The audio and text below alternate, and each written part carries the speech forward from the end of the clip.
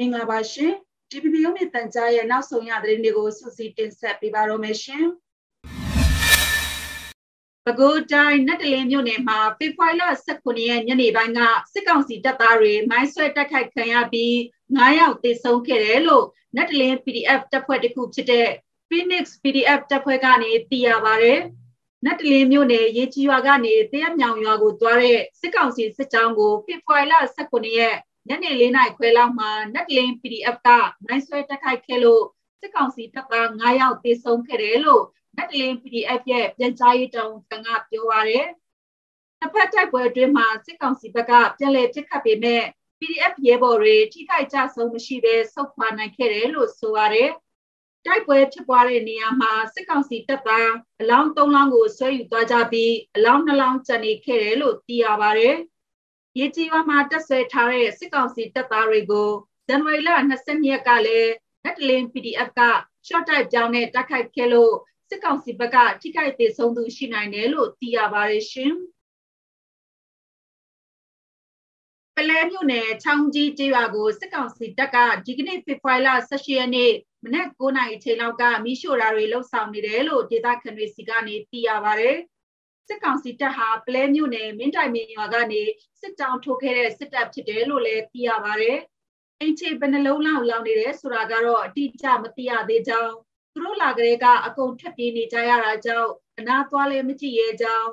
ကြာရင်ပလဲမြို့နယ်မိလောင်ကွင်းကြီးပဲဖြစ်ကြံခဲ့တော့မယ်လို့ပလဲဒေသခံရွာသားတူကပြောပါတယ်။ ပလဲမြို့နယ်အတွင်းမှာပြီးခဲ့တဲ့ဇန်နဝါရီ29ရက်နေ့ကစတင်ပြီးမွေတုံကျေးရွာပန်းရွာကျေးရွာအင်တီကျေးရွာတွေကိုစစ်ကောင်စီကမိရှို့ခဲ့တာကြောင့်ဒေသခံတွေစာဝတ်နေရေးနဲ့နေထိုင်ဖို့ရာအခက်အခဲဖြစ်နေတာတွေလည်းရှိနေပါတယ်။အခုဒီချိန်6ဦးကျေးရွာကိုမိရှို့တာတွေစစ်ကောင်စီကထပ်မံလှုပ်ဆောင်နေတာကြောင့်ဒေသခံတွေဘေးလွတ်ရာကိုထွက်ပြေးနေကြရတယ်လို့ဒေသခံတွေစီကနေသိရပါတယ်ရှင်။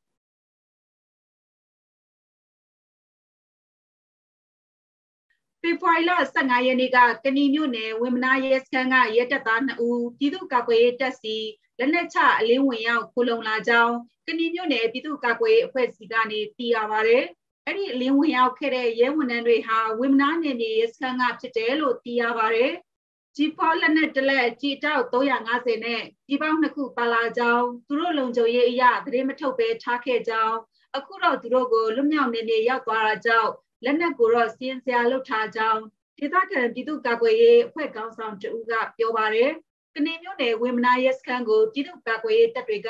နှစ်ကြိမ်ဝင်ရောက်တိုက်ခိုက်တာတွေလှုပ်ဆောင်ခဲ့တာကြောင့်စစ်ကောင်စီကလူအင်အားဖြစ်တင်ထားပါတယ်။ဒါပေမဲ့တပ်သားကိုရိတ်ခါလလုံလလောက်မပေးတာသတင်းချက်လက်အမှောင်ချထားတာတွေစားတာတွေရှိနေတဲ့အပြင်စခန်းအတွင်းမငြိညတာတွေလည်းရှိနေတယ်လို့ CDM ဝင်လာတဲ့ရဲတပ်သား2ဦးရဲ့ပြောပြချက်အရသိရပါတယ်။ အဲ့ဒီဝင်မနာနယ်မြေစကန်ဟာကဏီမျိုးရဲ့မြောက်ဘက်ချင်းမြင့်မြင့်အရှိဘက်ကကနေ15မိုင်ခန့်မှာတည်ရှိတဲ့ရဲစကန်တစ်ခုလည်းဖြစ်ပါတယ်ရှင်။ ARI တိုင်းကျုံကျုံမြို့နယ်အထောင်မြို့မှာဖေဖော်ဝါရီလ18ရက်နေ့ကမြို့သားလူငယ်10ဦးထက်မနည်းကိုစစ်ကောင်စီကဖမ်းဆီးခဲ့ကြောင်းသိရပါတယ်။ဖေဖော်ဝါရီ17ရက်ညပိုင်းကလျှက်စစ်ရုံဘုံပေါက်ကွဲမှုဖြစ်စဉ်နဲ့ပတ်သက်ပြီးဒေသခံပြည်သူ10ဦးထက်မနည်းကိုစစ်ကောင်စီက ဖမ်းဆီးသွားတာဖြစ်ကြောင်းဒေသခံတွေစီကသိရပါတယ်။လက်စစ်ရုံဘုတ်ပေါက်ကွဲတဲ့ကိစ္စနဲ့ပတ်သက်ပြီးဖေဖော်ဝါရီ16ရက်နဲ့18ရက်နေ့တွေမှာလူငယ်10ဦးထက်မနည်းကိုစစ်ကောင်စီက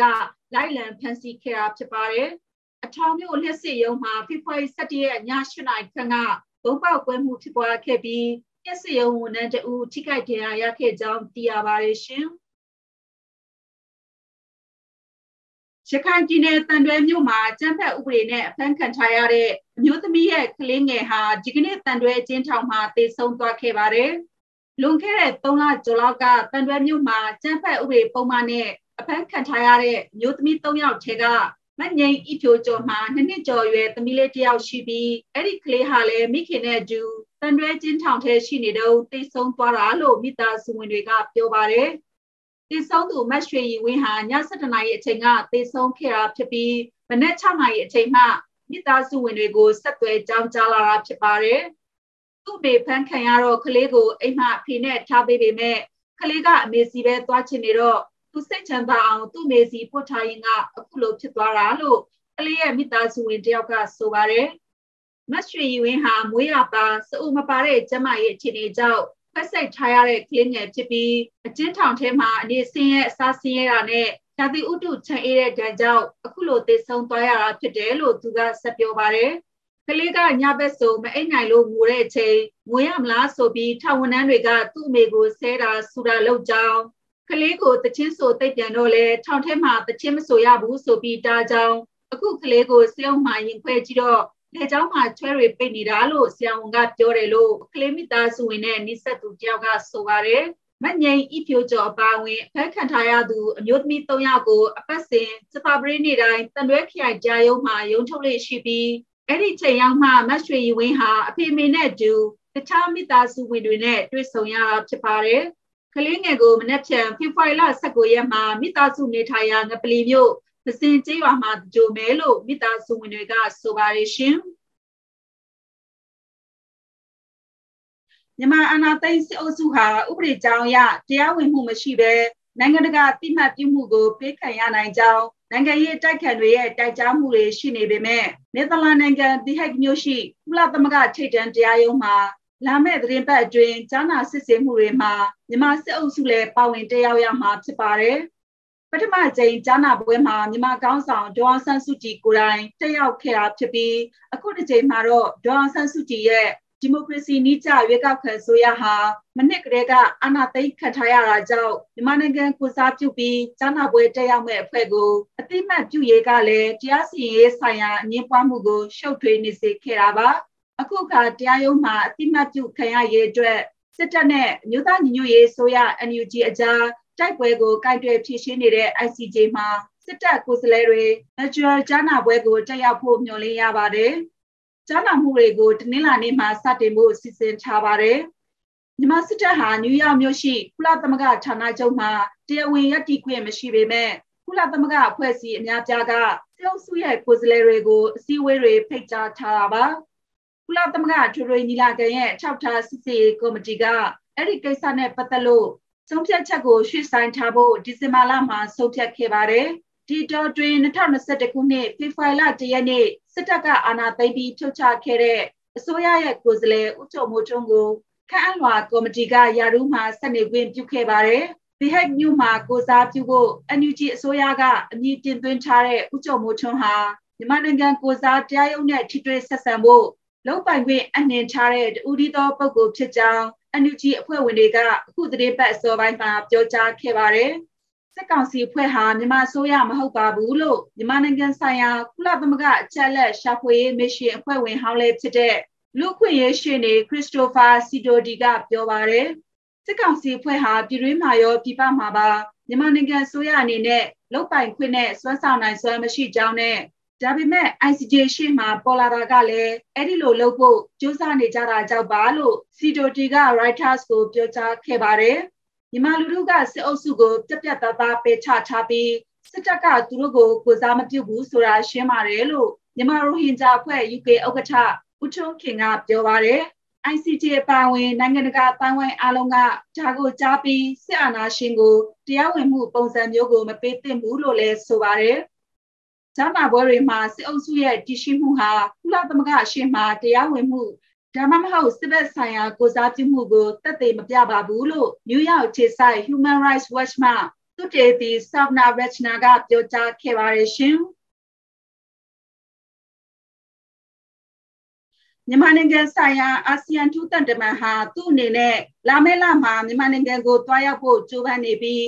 NUG ဆိုရနဲ့ပြောဆိုဆွေးနွေးရရေးအတွက် သူ့ကိုသဘောတူခွင့်ပြုပေးဖို့ဖေဖော်ဝါရီ19ရက်နေ့ချက်တာပရိနေ့ကပြောကြားလိုက်ပါတယ်။နှုတ်ချခံအုပ်ချုပ်ရေးဖွဲ့ဝင်တွေနဲ့ခြားစစ်အုပ်ချုပ်ရေးစန့်ကျင်သူတွေပါဝင်ဖွဲ့စည်းထားတဲ့အမျိုးသားညီညွတ်ရေးဆိုရ NUG နဲ့ဆက်ဆံရေးဟာမြန်မာစစ်ကောင်စီရဲ့ကန့်ကွက်မှုကြောင့်ရှုပ်ထွေးခဲ့ရတယ်လို့အရှိတောင်အာရှနိုင်ငံများအသင်းအာဆီယံရဲ့ဒုတန်တမန်အသစ်ဖက်ဆိုခွန်ကပြောပါတယ်။ရန်လိုမှုတွေချက်ချင်းရပ်တန့်ရေးနဲ့ အဖွဲ့ဝင်ဆယ်ဖွဲ့သဘောတူထားတဲ့ငြိမ်းချမ်းရေးအစီအစဉ်ကိုလေးစားလိုက်နာဖို့ပြတ်ကွက်တဲ့အပေါ်အာဆီယံရဲ့အဓိကအစည်းအဝေးတွေကိုမြန်မာစစ်အုပ်စုမတက်ရောက်ရစေဖို့အာဆီယံကမမျှော်လင့်ပဲပိတ်ပင်ကြားမြစ်ခဲ့ပါတယ်။သူရှိမှအရင်အာဆီယံတပ်တမန်တာဝန်ယူတော့က